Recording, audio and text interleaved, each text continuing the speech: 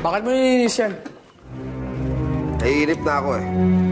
Kaya ito, hinahanda ko yung gagamitin ko kada Dalisay at Bubbles. Eh, hindi pa nga natin alam kung nasan sila, di ba? Malapit na.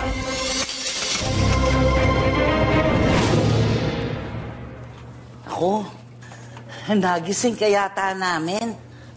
Eh, pasensya ka na. Ay, hindi po. Okay lang po ako.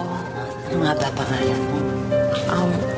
Lourdes po ang pangalan ko pero Bubbles po ang tawag nila sa akin. Lourdes. Eh, kasama ka ba namang bendeta? Hindi po. Nasabit lang po ako eh. Paano ka naman nasabi? Meron po kasi bumahay sa akin dati kong customer, si Homer. Bakit? May sinabi na ba sa'yo si Porto kung kailan tayo susugod? Wala pa. Wala pa naman pala eh. Tsaka kailangan gumaling muna yung sugat mo. Wala to. Kalaban po sila ng vendetta. Siguro na po nila ang vendetta. Nagkataon po, yung mga kaibigan ko sila Aling Becky, doon po nakatira. Naawa po ako eh.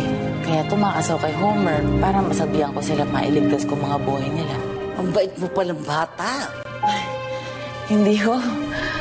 Nagkataon lang ho. Kahit na, malaki pa rin yung naitulong mo. Ang dami mo nailigtas na buhay ng tao. Pag napiga ako yung pamilya ni Alian, sisiguraduhin kung aamin sila kung nasaan sila. Ililibing ko buhay si Kato at tatapusin ko yung bubbles na yan dahil sa pagkatraidor niya sa akin.